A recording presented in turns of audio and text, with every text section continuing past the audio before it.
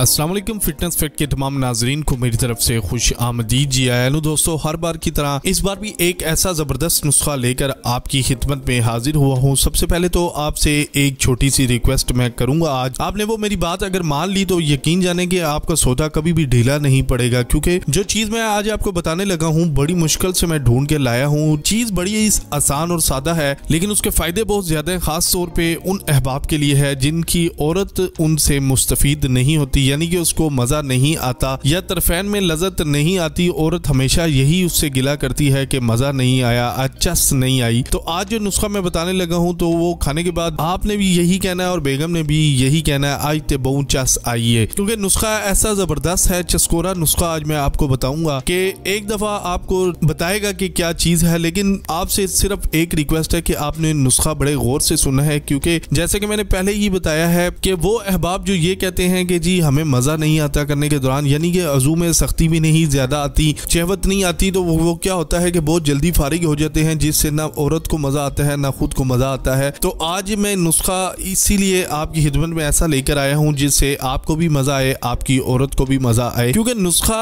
खाना बहुत आसान है लेकिन उसके साथ चलना बहुत मुश्किल है क्योंकि आप एक दिन खाते हैं दो दिन खाते हैं आप ये कहते हैं जी मैं ठीक हो गया हूँ या टाइम लग रहा है। तो कुछ नुस्खे ऐसे होते हैं जो बहुत ही जल्दी आराम देते हैं और कुछ टाइम लगाते हैं, लेकिन ये नुस्खा जो बता रहा हूँ, चट मंगनी पट ब्याह वाला काम है। यानी कि आप जैसे ही खाते जाएँगे, आपको बहुत ही फ़ायदा पहुंचाएगा। तो आइए जल्दी से फिर नुस्खा जान लेते हैं, लेकिन उससे पहले एक छोटी सी रिक्वेस्ट करता हूँ कि फिटनेस फैक्ट के ऑफिशियल चैनल को सब्सक्राइब कर लें बेल आइकन के बटन को प्रेस कर लें, ताकि आने वाली तमाम वीडियोस आप तक आसानी पहुँच सके और कोई भी वीडियो आप मिस ना कर सकें। नुस्खे का आगाज़ करता हूँ। बिस्मिल्लाहिर्रहमानिर्रहीम। सबसे पहले तो दोस्तों, आपने क्या करना है? अच्छे वाला अकड़ कढ़ा ले लेना है। अकड़ कढ़ा आपने क्या करना है? दस ग्राम ले लेना है। उसको अच्छे तरीके से साफ़ करके पीस लेना है, बिल्कुल बारीक कर लेना है और एक चम्मच शहद उसमें डाल देना है। उसको अच्छे तरीके से मिक्स करके आपने उसको इस्तेमाल करना है। इतना ज़बरदस्त नुस्खा है दोस्तों कि जैसे ही आप इसको खाएँगे इनशाला बहुत ही अफाका होगा। दोनों तरफैन में लज्जत आएगी, औरत आपकी दीवानी हो जाएगी और कभी मायके जाने की धमकी नहीं देगी, क्योंकि नुस्खा बहुत ही ज़बरदस्त है। आप एक मुकम्मल मर्द बन जाएँगे। मुझे आप दीजिए इजाज़त, मैं मिलता हूँ कल इसी तरह के नए और बेहतरीन नुस्खे के साथ। दो में याद रखें और अपना बहुत सारा ख्याल रखें तब तक के लिए अल्लाह हाफिज़ गुड बाय।